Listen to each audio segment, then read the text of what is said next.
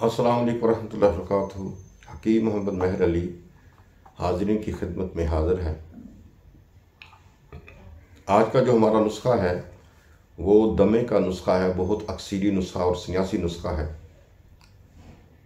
आपने क्या करना है कि इस नुस्खे की जो तारीफ़ एक हकीम ने की है, वो ये कहता है कि मेरे भाई के बेटे को अरसा दराज से दमे का मसला था और ख़ुद भी तबीब था और बेशुमार डॉक्टरों, हकीमों, वैद्यों से उसका इलाज करवाया।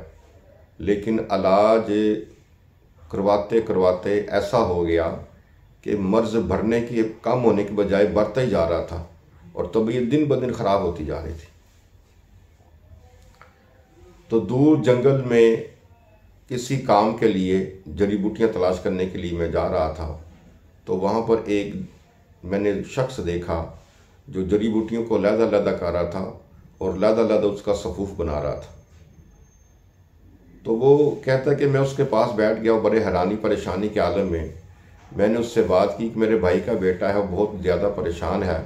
उसको ये दमे का मसला है, रेशा बहुत ज़्यादा आता है और सांस रुक जाता है। सांस लेने में बहुत ज़्यादा तकलीफ़ और दुशारी होती है।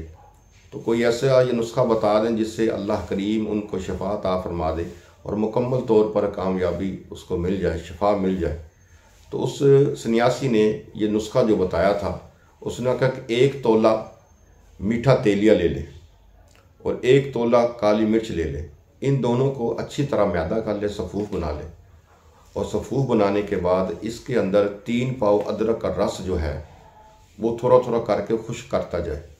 जब तीन पाव रस अदरक का इसमें खुशक हो जाए और मुकम्मल तौर पर यानी कि जज्ब हो जाए तो इसको छाँव में रख कर उसने कहा कि इसकी गोलियाँ बना ली हैं, यानी कि माश की दाने के बराबर।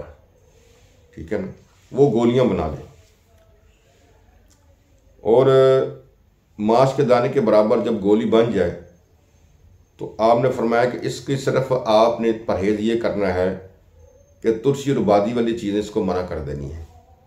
खट्टी चीज़ें और बादी चीज़ें मना कर दी जैसे चावल वगैरह और चाय वगैरह और गोभी आलू नान चने और fast food burger shawarma pizza और इस तरह की चीज़ें जो हैं वो आपने मुकम्मल तौर पर परहेज़ करना है। आ, और बैंगन हो गए मसर हो गए बिरयानी वगैरह। तो ये सारी चीज़ें जो हैं आपने मुकम्मल तौर पर छोड़ देनी है। तो इसके साथ आपने सब्ज़ियाँ इस्तेमाल करनी है। या देसी मुर्गे का शोरबा, काले चने का शोरबा, या बकरे का शोरबा, उसमें आपने रोटी को डिप करके खाना है। यानी कि यखनी वाली चीज़ें बनाकर आपने इस्तेमाल करनी है।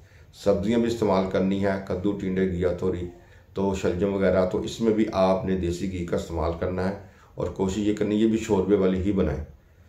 ठीक है? तो ये आपका तरीक़ाकार था। तो इन चीज़ों का परहेज़ करना है। बलगम खांसी का मसला हो, वो भी इसके साथ मुकम्मल तौर पर ठीक हो जाएगा। तो आपने फरमाया कि ये जो दान, दाल माश के बराबर जो दाना है, इसका यानी कि जो आप खुशक कर लेंगे, इसके यानी कि दवाई बना लेनी है माश दाने के बराबर तो सुबह शाम आपने अरके सौंफ के साथ आपने ये दवाई लेनी है एक हफ़्ता। तो इन ताला एक हफ़्ते के अंदर अंदर ही अल्लाह करीम आपको शफाता फरमा देगा।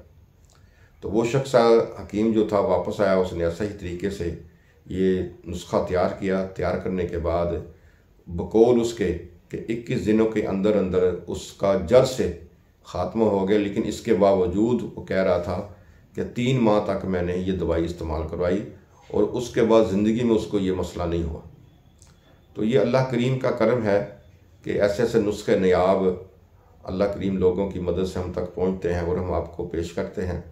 और हमारी नीयत यही होती है कि ज़्यादा से ज़्यादा लोग इस इन नुस्खों से मुस्तफ़ हों और अल्लाह करीम उनको शफाता फरमाए। हमें अपनी दुआ में याद रखिएगा, इसी तरह आपकी खदमत करते रहें। अल्लाह करीम आप सब पर अपनी मेहरबानी फरमाए। अल्लाह हाफिज़।